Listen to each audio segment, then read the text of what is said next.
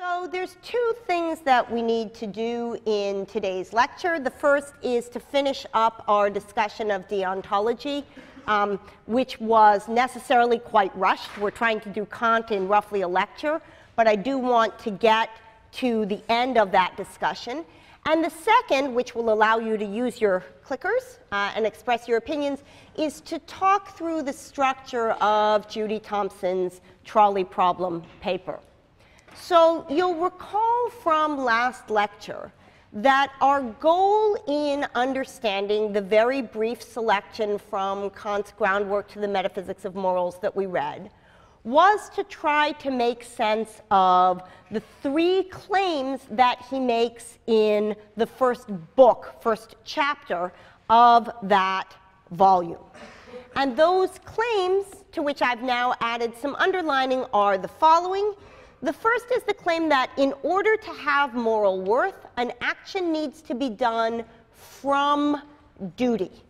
And the distinction that Kant is making there is the distinction between doing something in keeping with duty, that is, something that conforms to what morality demands of you, and doing something not merely in keeping with, but also from duty. And Kant's picture is that the moral worth of an action is determined not merely by it being in keeping with duty. That's a necessary but not a sufficient condition.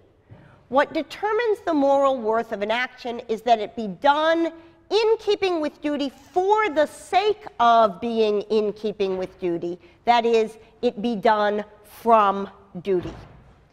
The second thing that Kant says, the second proposition which he seeks to defend in the groundwork, is the claim that an action done from duty, that's the thing we were talking about in the first claim, an action done from duty has its moral worth not in the purpose that is to be attained by it, not in what the Greeks would call its telos, its goal, its aim, but rather in the maxim according to which the action is determined.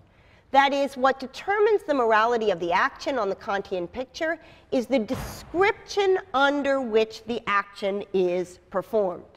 Now, a number of you came to office hours yesterday, and we had a rather lively discussion of how it is that one goes about determining what things count as maxims. And I encourage those of you who are interested in that question to take an ethics course where you can work through Kant's writings on this question in more detail. For the purpose of our class, all we need to hold on to is the simple idea that what Kant is interested in here are acts under a description, and that that description is going to have to satisfy a certain sort of test, as we'll find out in a moment. So that's Kant's second claim. Kant's third claim is that duty, which is the central notion to deontology, de, the deon duty is at the core of deontology, Duty is the necessity of an action done out of respect for the law. And the idea here is that not only do you need to act with the goal of conforming to the law in mind, not only do you need to do so in a way that you articulate your action as falling under that norm, but you do so because you take the moral law to be morally binding upon you because you recognize that it is what rationality demands of you. The moral law turns out to be the law of governing your behavior that you set for yourself as a rational being. It is the only aspect of your behavior on the Kantian picture that isn't determined by the contingent forces of the world around you. It's determined by your recognition of your role as somebody capable of binding themselves to a law that they themselves set. So, as I said, the reason we were interested in these three principles was to get to Kant's famous formulation of the categorical imperative. And we closed lecture last time by meeting one member of the categorical imperative family in response to Kant's question, what sort of law can it be, the thought of which must determine the will without reference to any expected effect, so that the will can be called absolutely good without qualification? Kant sets himself, as I said, this cliffhanger of a question and answers it with the first member of the categorical imperative family. It's the will's universal conformity of its actions to law as such. Only thereby, says Kant, can one act autonomously and not heteronomously. What does it mean to act autonomously as opposed to heteronomously? Well, let's look at the words autonomous, heteronomous. You'll notice that they both have here the word nomos, that is law, and they distinguish the law to which you're subjected by saying that in one case it's an autonomos, and in the other case it's a heteronomos. Autonomos. What could that be? Let's think of other words where we have this prefix auto. How about automobile? What's an automobile? An automobile or an automobile is something that is self propelled. It is propelled by its own strength. To act autonomously on Kant's picture is to act on the basis of a law that you yourself have imposed.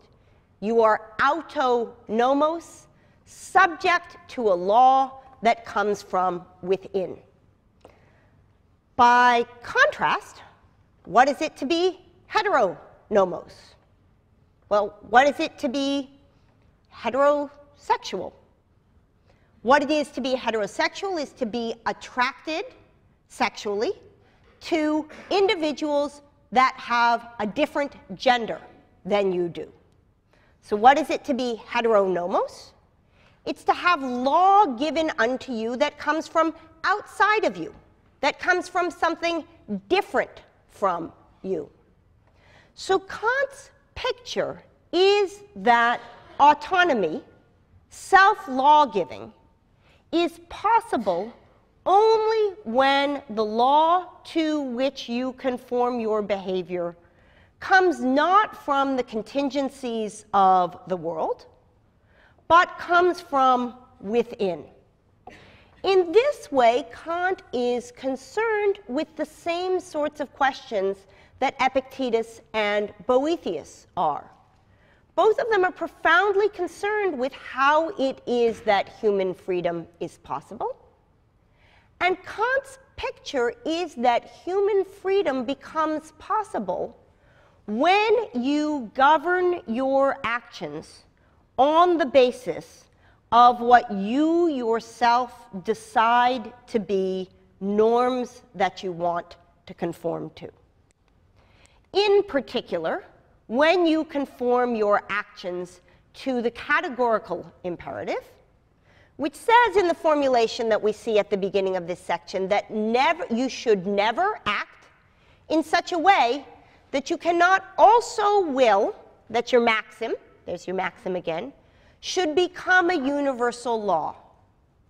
When you act in such a way that you don't take the contingencies of your situation into consideration, but rather that you think of yourself as one among any number of beings who in your situation would do exactly what you do, only then do you become free of the contingencies of circumstance.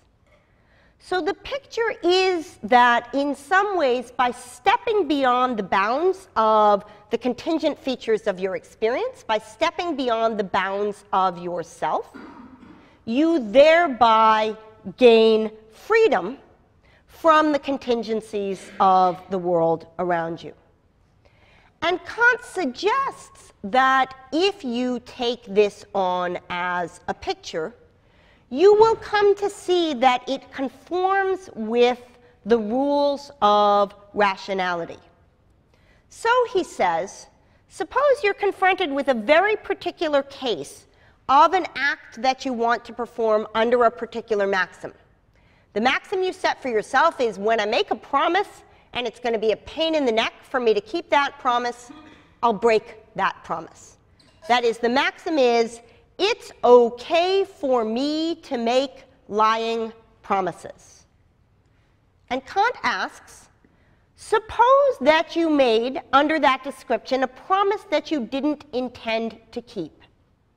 Can that maxim be universalized?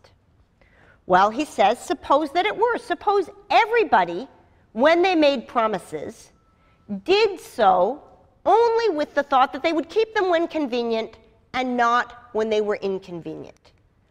Were that to happen, says Kant, there would be no such thing as reliable promising.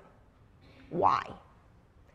Well, because promises are like balconies.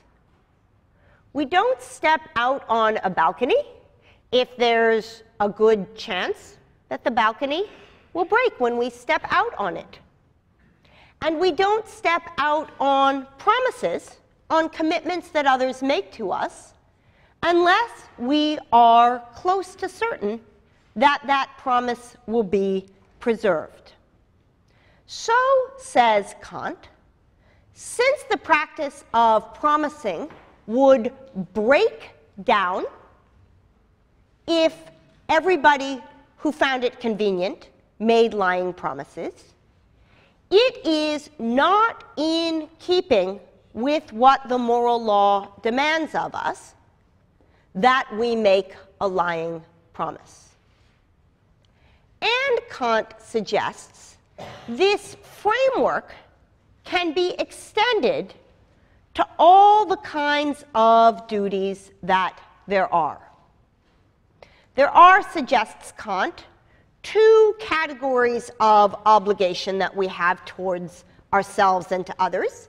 We have duties to ourselves and duties to other people.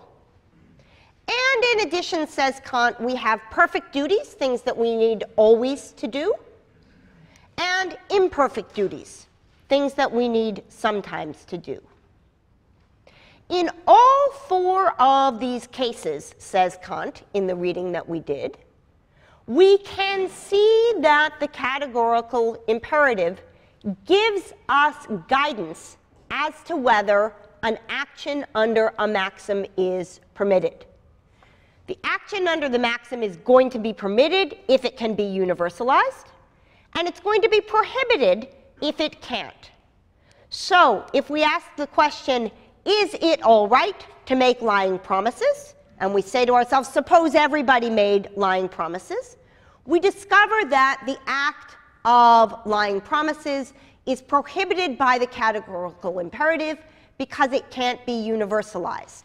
Suppose we ask the question, is it okay to commit suicide when feeling frustrated with the world?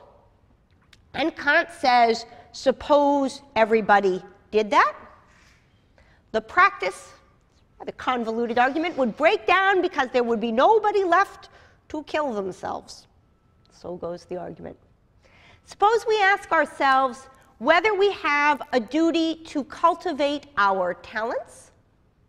Kant says, suppose nobody cultivated their talents, the world in which we lived would be one in which nobody would want to live. And consequently, we have a moral obligation to do so. Finally, he asks, do we have an obligation to give money to those in need? And asks again, what would happen if it were a universal law that nobody gave money to those in need? And again, we discover a breakdown of an ordered world in which we want to survive. Now, there's room for questioning in fact, there's room for questioning all four of these derivations, though it's generally accepted that the lying promise derivation is the most effective of them. But let's look instead at what Kant says about them if it were to turn out that these derivations worked. Kant says these are some of the many actual duties whose derivation from the single principle above is clear. Is clear is a bit of a stretch, but we can see how that derivation would go. What does this tell us about morality? Kant says it tells us that when we take an act and try to determine whether it's moral, we need to check and see whether we're making an exception for ourselves. When we act, we need to be able to will that a maxim of our action become a universal law. When we transgress, says Kant, we don't will that our maxim should become a universal law, but rather that the opposite of this maxim should remain a law universally. So, suppose you like to sit in the last two rows of this classroom, uh, even though you arrive not late to class. Can you will that this become a universal law? Or is this something that works for you only if others are willing to sit further in so that there's room for people on the stairs? Kant would say that the moral law demands of you that you move inward because you're sitting in those last two rows despite your not late arrival depends on other people doing something different. Stealing depends on other people respecting the laws of property. You're not paying the toll on the subway depends on other people paying the toll so that there's enough money to keep up the subway. When you make an exception for yourself, says Kant, you violate the moral law. And we'll return to this at the opening of our discussion of political philosophy when we talk about prisoners' dilemmas. Now, I mentioned in passing that you had met one member of the categorical imperative family, that you had met what's sometimes called the formula of the universal law, that one should act only in accordance with that maxim through which you can at the same time will that it become a universal law. Kant puts the categorical imperative four different ways for a number of reasons one of which, he says, is that in certain cases, it's easier to see how to apply the categorical imperative if we frame it in a slightly different way. And I want to introduce you to the other three, largely because the second of these is going to play a central role in the second half of today's lecture.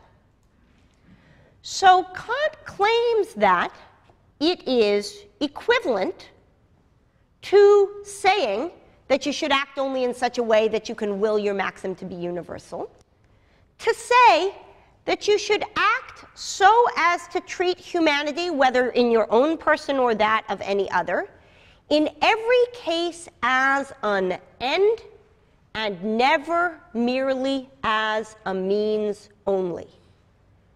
Do not use yourself as a means to an end. And do not use others in your interactions with them merely as means. Treat humanity and all others as ends in themselves. Equivalent to that, says Kant, is the formula of autonomy, which we've already talked about briefly. Act so that through your maxims you could be a legislator of universal laws. Act in such a way that you are a self lawgiver with respect to rules that reason endorses. And finally, a rather complicated notion, sometimes called the kingdom of ends formulation. Act in accordance with the maxims of a member giving universal laws for a possible kingdom of ends. a harmonious society in which everybody exists according to the laws that you give. As I said, we have only about an hour's worth of Kant, so we won't focus on the third and the fourth. But I do want to call your attention to the formula of humanity, because as I said, it's going to play a central role in Judy Thomson's ultimate diagnosis of what may be going on in our intuitions about trolley cases. So let me close the discussion of Kant by trying to connect it back to the mini unit of which it is a part. You'll recall that we began this section of the course on the 17th, that is last Thursday, with thinking about consequentialism as a moral theory. And the question that I want to ask is what is there that is common to the two concrete moral theories that we've taken a look at at the beginning of this unit? We've looked so far at some of the differences between consequentialism on the one hand and deontology on the other. But I think it's important in moving on to some of their practical applications to think about what they have in common. And what they have in common is that both teleology, consequentialism, utilitarianism in the particular form that we found it, and deontology prohibit first person exceptionalism. Kant says, My desires may serve as bases for willed actions only if I can at the same time coherently will that others in similar circumstances would act in the way that I am choosing to act. I'm only allowed to do things that I'm going to assume other people are also allowed to do. And Bentham, quoted in Mill, Bentham, the great father, grandfather of utilitarianism, says, Everyone is to count for one, no one for more than one. Mill, in his greatest happiness principle, speaks of the happiness of all, not the happiness from the subjective perspective.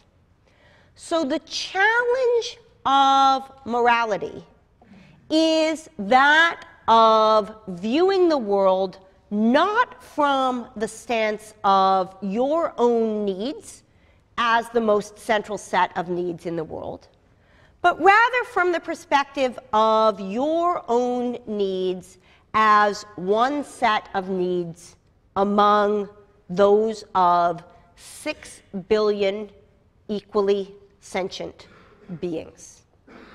Now, the problem for morality is that the tendency towards first person exceptionalism, the tendency to take one's own needs as more important than the needs of anybody else, is perhaps the most widespread and pervasive psychological bias. And when we get to the unit on political philosophy after March break, we'll talk about ways in which social structures are put into place to help deal with this sort of tension.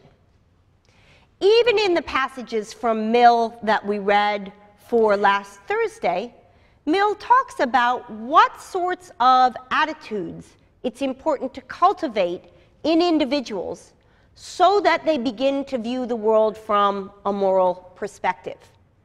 In the selections that we read from Book 10 of Aristotle's Nicomachean Ethics, Aristotle asked, In what way should society be structured to make it easy for people to act morally. And in some ways, the question with which we're going to close the course how does rational versus non rational persuasion work? What are the roles of literary as opposed to argumentative representations of the good life?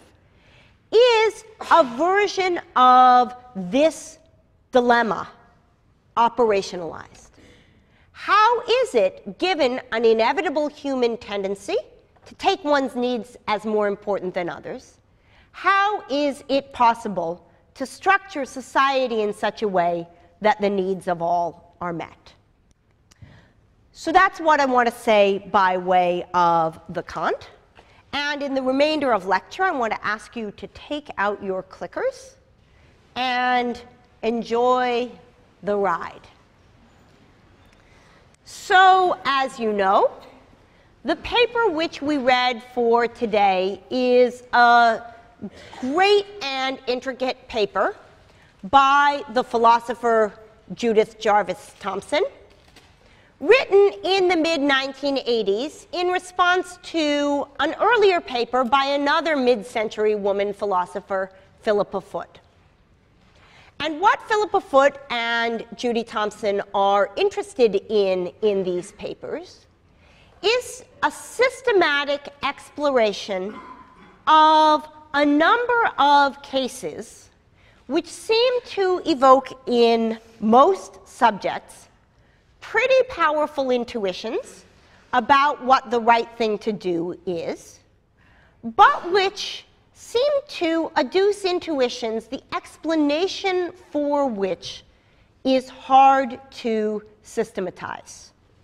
So, as you know well, the first case, which we'll call trolley driver, there's the driver, is this. There's a trolley hurtling down a track in such a way that it's going to kill five people.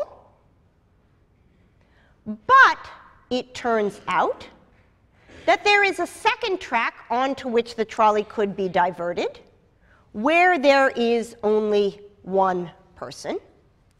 And the question is this the trolley driver is driving the trolley, it's heading towards the five people in such a way that he is going to kill the five. Should he, is he morally required to, morally prohibited from, or perhaps neither prohi prohibited nor uh, required, but rather just permitted, to turn the trolley onto the track where there is only the one. Now, notice that though this is framed as an idealized problem, the diversion of threats is something that decision makers face all the time. Suppose there is an airplane that has become incapacitated, that's falling in such a way that it's going to land on a large city and it would be possible to divert the plane so that it falls on a less populated area instead.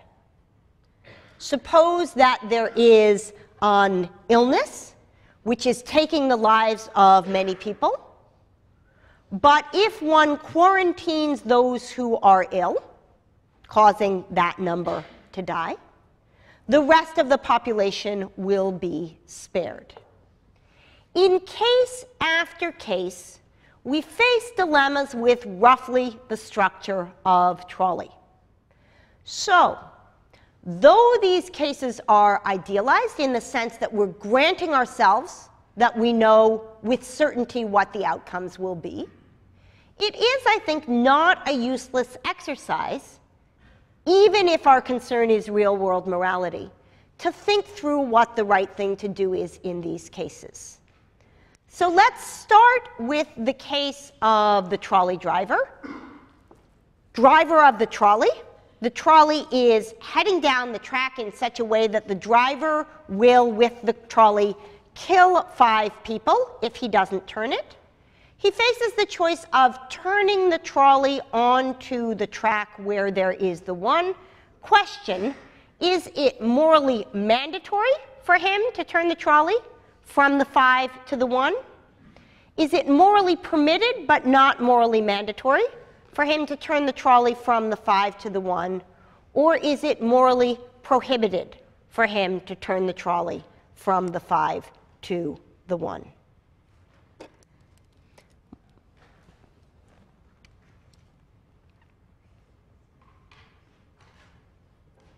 Okay.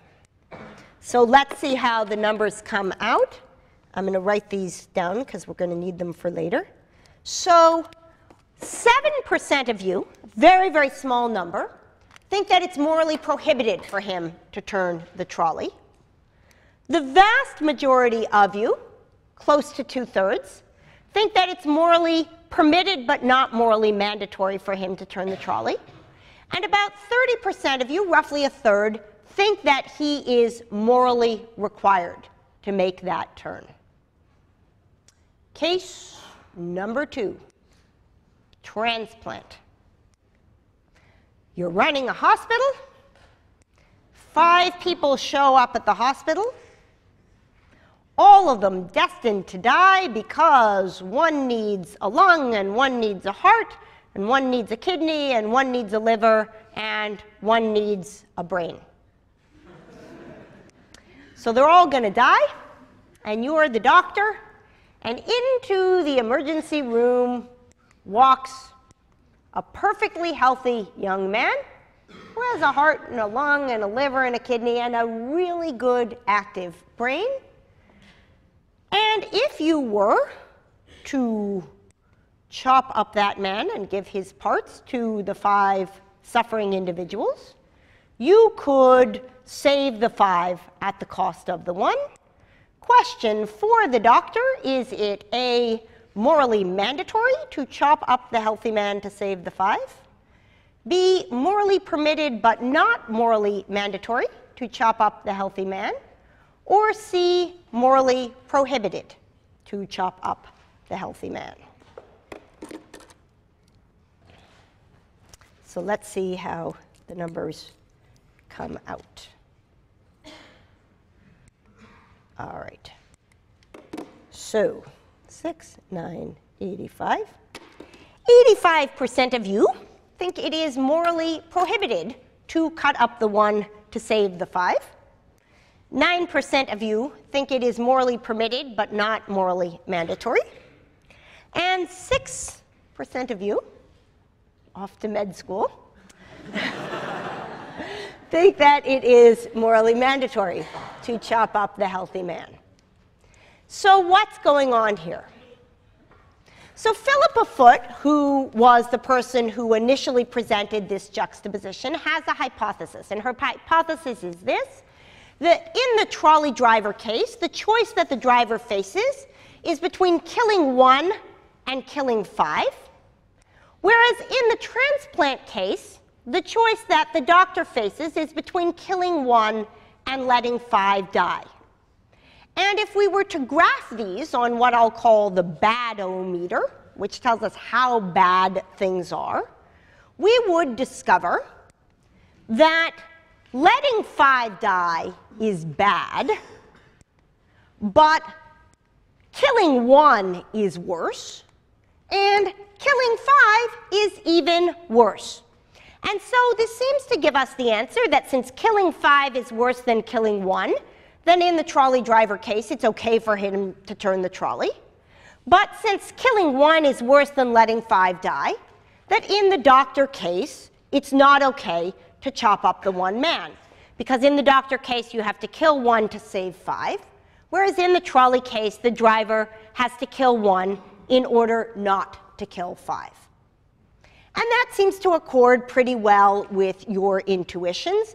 93% of you think it's permitted in the trolley case to turn the trolley, whereas only 14% of you think it's permitted in the doctor case to kill the one.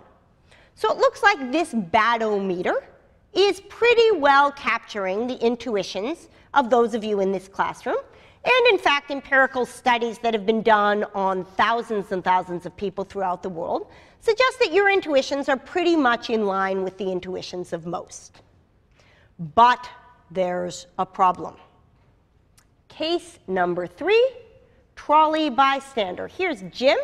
Poor Jim's really bad luck. First, he shows up in this Latin American town. He's supposed to shoot some Indians. Now, here he is next to a trolley, which is hurtling down a track, about to kill five people. But here there is in the middle of the track a switch that, if Jim turns, will cause the trolley to kill the one. Question for Jim, the bystander, is it morally mandatory for him to turn the trolley so that instead of the trolley hitting the five, it hits the one? Is it morally permitted but not morally mandatory for him to turn the trolley? That's answer two. Or is it morally prohibited for him to turn the trolley? Let's see how those numbers come out.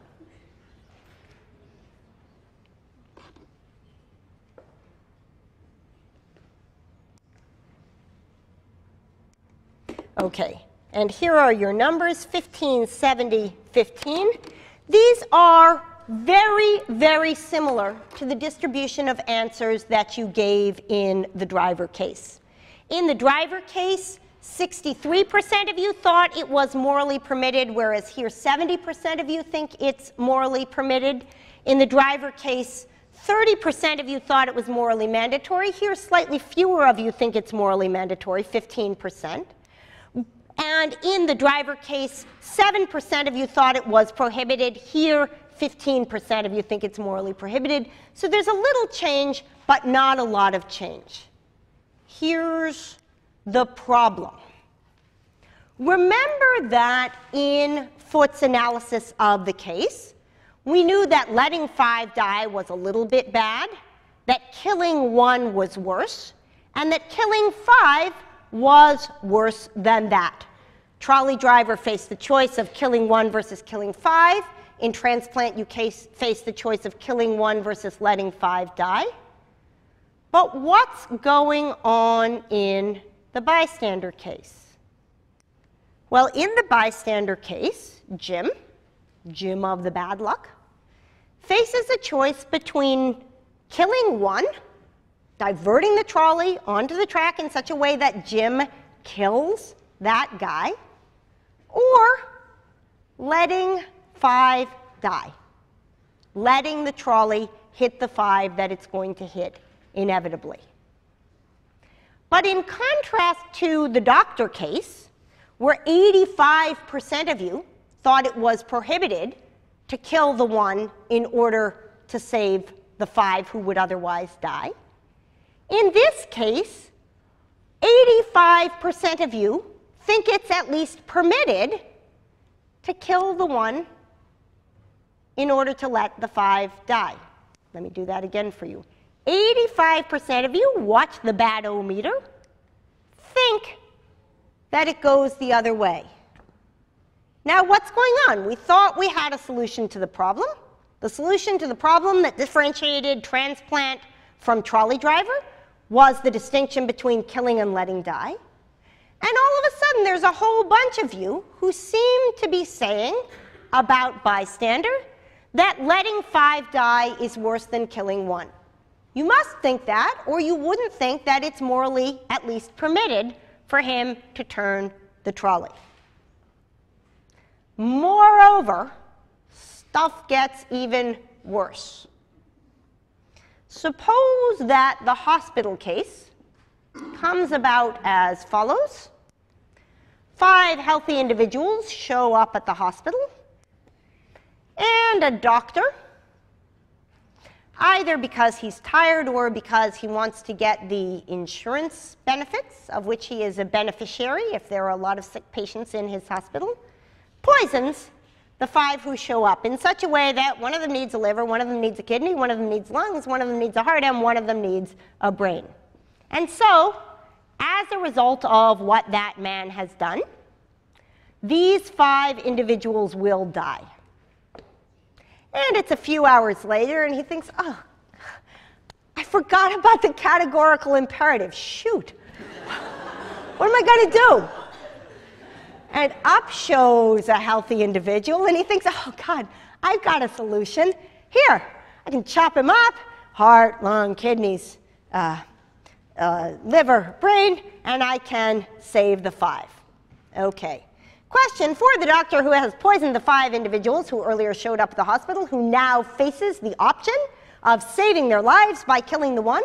Is it A, morally mandatory to chop up the healthy man?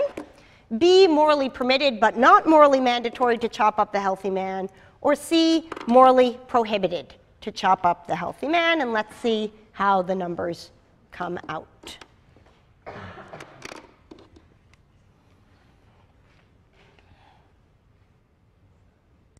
All right. So, 82, 11, 7.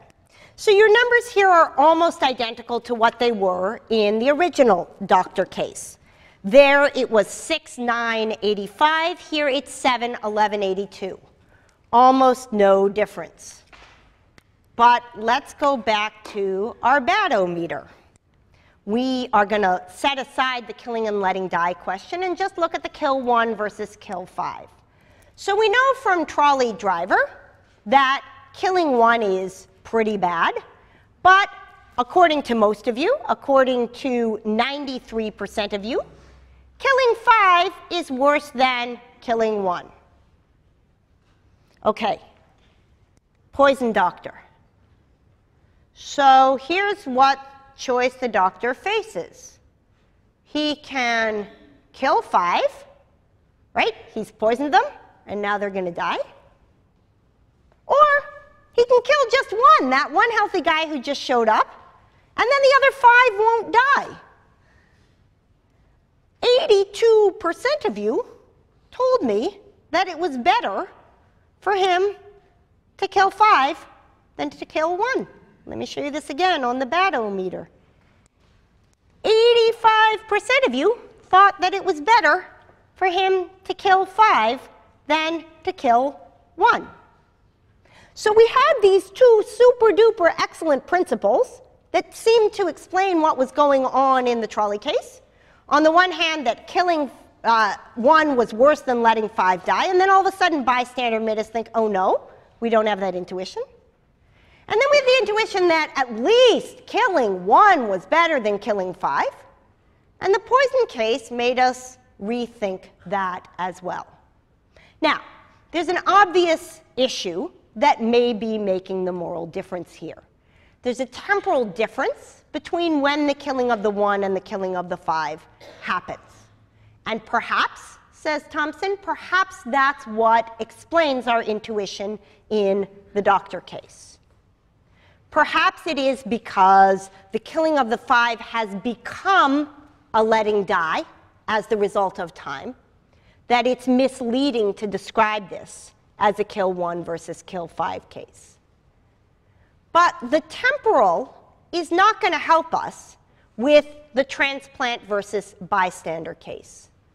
Those seem pretty clearly to be both cases where one faces a choice between killing one and letting five die.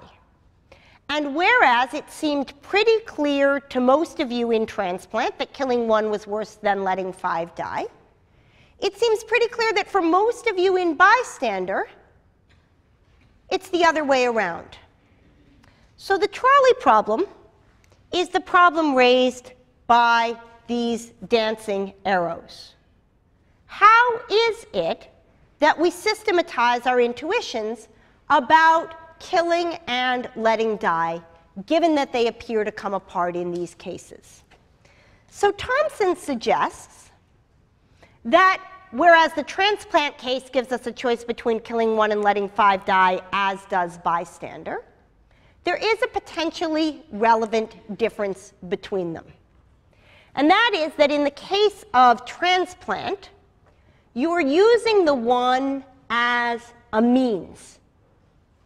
You're using the one as a way to achieve the outcome of saving the other five. Whereas in bystander, when you're diverting the trolley onto the track where that one individual is, you're not using that individual as a means. And oh my goodness, I told you we'd get back to Kant, and we have. What did Kant's formula of humanity say? Kant's formula of humanity said so act as to treat humanity, whether in your own person or that of any other, in every case as an end and never merely as a means only. So maybe that's our solution. Maybe the problem in bystander is that since you're not treating him as a means, it's okay to kill the one. Whereas in transplant, since you are treating him as a means, it's not okay to kill the one, and consequently, you're morally obliged to let the five die. Well, says Thomson, that can't be quite right. Suppose that you're Jim, you're standing next to the trolley, trolley's on its usual path to kill the five, but here, instead of the straight track on which the one sits, there's a looped track, and the one is in the middle of the track. In such a way that if you divert the trolley, it will hit him, thereby saving the 5. Question, in the case that Thomson calls loop, is it A, morally mandatory to turn the trolley? That's one. B, morally permitted but not morally mandatory, or C, morally prohibited. So remember, trolley's heading down the track towards the 5, your Jim. The trolley's going to hit the 5, or you can divert the trolley onto the track with the 1, and because the 1 is there, you will cause the trolley to stop. Okay, so let's see how the numbers come out on this.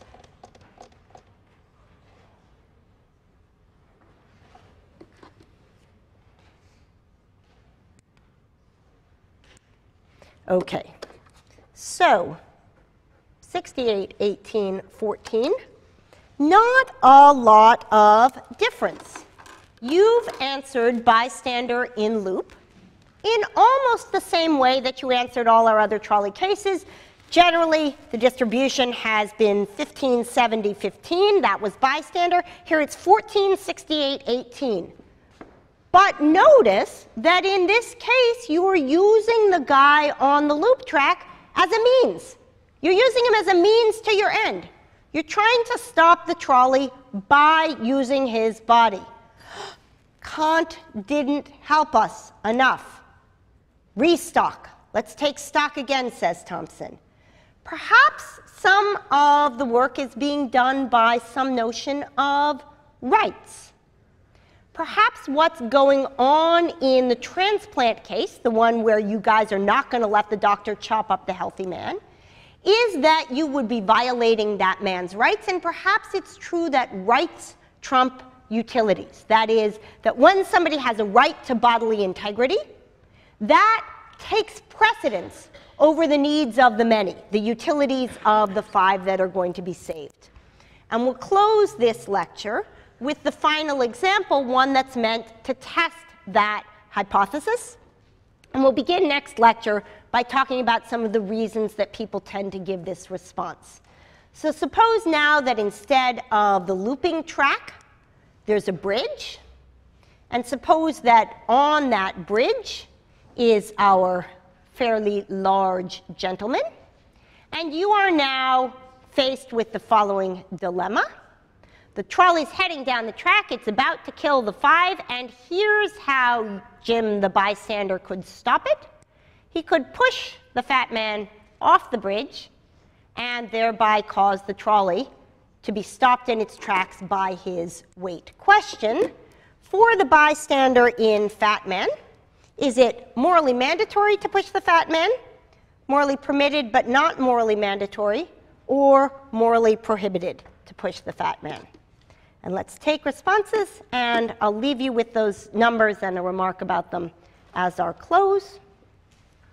So let's see whether we get any shift in the fat man case. My goodness, that looks awfully different what is going on. So remember, our classic distribution is that we have roughly 70% here and no more than 10% in the prohibited. All of a sudden, 78% of you think it's prohibited. What's going on? Cliffhanger. We'll talk about it on Tuesday.